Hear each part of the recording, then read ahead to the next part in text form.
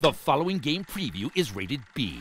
Thursday night, in an East versus West Coast showdown, the Boston Bruins begin a three-game road trip against Joe Thornton and the hungry San Jose Sharks. With only a few weeks left in the regular season, the battered Bruins are poised for the playoffs. But the Sharks are out for blood, fighting to make it into the postseason. What more could you ask for? Bruins, Sharks. Coverage begins Thursday at 10 on NESN.